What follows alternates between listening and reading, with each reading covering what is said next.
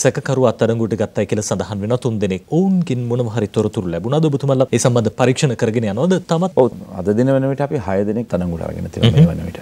මොකද මුලින්ම හිටිය දෙන්න ඊට පස්සේ තුන් දෙනෙක් බවට පත් වුණා. පස්සේ හතර දෙනෙක් බවට පත් වුණා. දැන් අද දින වෙන විට හය දෙනෙක් බවට පත් වෙලා තියෙනවා. මේ සැකකරුවන් අත්අඩංගුවට ගැනීම. මේ ඒ කියන්නේ විමර්ශන ඉදිරියට යනවා. නමුත් අර විමර්ශන ඉදිරියට කරගෙන යාමේ අවශ්‍යතාවය මත සහ එහි රාස්‍යභාවය රැකිය යුතු නිසා අපි තොරතුරු අනාවරණය කරේ නැහැ. නමුත් අපි ජනතාවට දැනුම් දුන්නේ විමර්ශනයක් කරනවා. ඒ වගේ යම්කිසි ආකාරයකට මෙතෙක් සැලසුම් කරන ලද යම්කිසි ක්‍රියාදාමයක් තියෙනවා. අපි ඒක ව්‍යර්ථ කරලා තියෙනවා. ඒ වගේම තමයි මේ තර්ජනය තිබුණා නම් තිබුණේ ඊශ්‍රායල් ජාතික. මේ වෙනත් සංචාරකයන්ට ශ්‍රී ලංකා ලාංකිකයන්ට තියෙන ප්‍රශ්නයක් නෙවෙයි. ආරක්ෂාව සම්බන්ධයෙන් අපි සියලුම සංචාරක කලාපවල වැඩපිළිවෙලක් අපි ක්‍රියාත්මක වෙමින් තියෙනවා. නමුත් මේ වැඩපිළිවෙල සාර්ථක කරගන්න අපිට අවශ්‍ය වෙන්නේ විශේෂයෙන්ම නජිත් මහ ජනතාවගේ සහාය. අපි දුරකථන අංකයක් හඳුන්වලා දුන්නා 071 859 2651 නියෝජ්‍ය පොලිස්පති දමයන්ත විජයශ්‍රී කියලා මේ සංචාරක දිසාභාර නියෝජ්‍ය පොලිස්පතිවරයාගේ දුරකථන අංකය. පෞද්ගලිකව අපිට ආරක්ෂාව ලබා දීමේ හැකියාව තියෙනවා මේ දුරකථන අංකයෙන්.